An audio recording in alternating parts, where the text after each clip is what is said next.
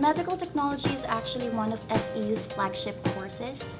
Every year we have a high passing rate. We also always have board top-notchers. Aside from that, our laboratories are well equipped and well maintained. I'm currently an executive committee member of the Institute of Arts and Sciences Student Council. And aside from that, you'll be seeing me bouncing from one student council to another.